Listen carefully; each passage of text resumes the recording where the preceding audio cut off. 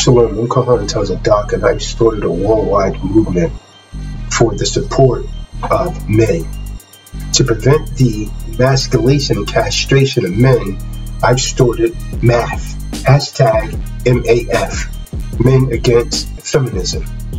This is a support system for men. I am a spokesman for men and women that love them. There is no organization speaking out against the hateful institution of feminism. Delve into the history of feminism, and you will discover that it is hate mongering and calling for the annihilation of men.